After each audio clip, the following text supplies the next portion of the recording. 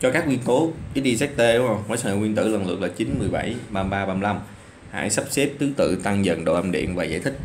Thì uh, nếu như mà các bạn làm uh, những câu này tương đối ổn, tương đối nhiều ấy thì các bạn sẽ biết một điều cơ bản là uh, đây là nguyên tố 9, 17, 33, 35, 9, 17 và 35 là mấy nguyên tố rất là thông dụng đúng không ạ? Đây, đây tôi ví dụ đây là mô phỏng như bảng tuần hoàn thôi. Đầu tiên là hằng số 9 đúng không? Chín thì các bạn phải thuộc dùm tôi rồi. Hồi hè ly bể bà đúng không? Năm. Chọi nên ông phải né. Phải phải phải phải phải phải. Thì từ phải nó hơi nó hơi cách điệu tí xíu thì từ phải là như vậy. Thì phải chính là F. F đúng không? F này chính là số uh, số 9 này F là số 9 nằm đây. Rồi tương tự thôi. Phải rồi số 17 bài chọi nông phải né là 10 đúng không nàng mang áo sang phố sữa cho anh không cần. Oh, sữa cho sữa cho cho cho clo clo clo cho clo. Hồi xưa tiếng việt thì nó là clo như vậy nè. Là số 17 và đây là sen l.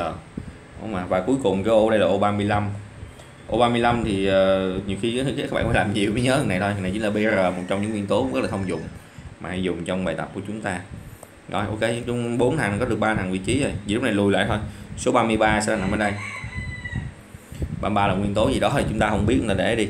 Thì bây giờ chúng ta XYZT tương ứng thôi. Và nhớ 33 là ở vị trí của thằng xét đúng không? Rồi chúng ta quy đổi mấy này lại. Tại vì người ta không kêu xác định mấy cái này. Do đó chúng ta sẽ là 33 là thằng xét này, X là số 9 Y là Y là số 17 Z là số 33 và T là số 35 đây XYZT theo đúng thứ tự tương ứng. Hãy xếp mức độ tăng dần đúng không? Tăng dần độ âm điện thì tôi lý giải các bạn có thể ghi chú vào nha. Là gì? Xếp mức độ tăng dần độ âm điện như thế nguyên tắc thì đi từ trên xuống dưới trong bảng hệ thống tuần hoàn. Nguyên tắc đi từ trên xuống dưới trong bảng hệ thống tuần hoàn thì độ âm điện sẽ giảm dần. Lý do là vì kích thước ờ, của nguyên tử càng lúc càng phình ra. Nó phân ra càng nhiều lớp hơn. Số lớp nó bắt đầu dày hơn. À, lớp bắt đầu số lớp tăng dần lên. Khoảng cách từ hạt nhân đến trong lúc ngoài cùng lúc càng càng giảm. Ủa, sau đó càng tăng? Xin lỗi càng tăng. Do đó lượng hút nó sẽ lực nó sẽ giảm. Vì hạt nhân nó với trong lúc ngoài cùng nó xa mà các bạn. Lực không nó kém thì độ âm điện nó phải giảm.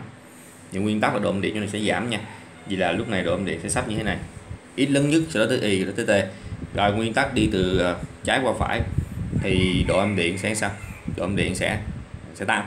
Tại vì trong cùng một cái lớp đó các bạn. Trong cùng một lớp. Trong cùng một lớp thì kích thước hạt nhân nó càng phình ra càng to ra.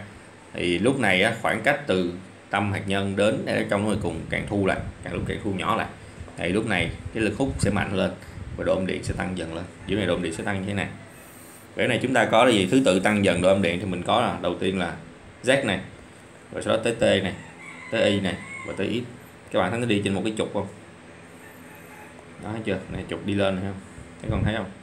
Tô lại một dưới xanh nha. Đó, thấy chưa? Nó đi theo một cái trục nè.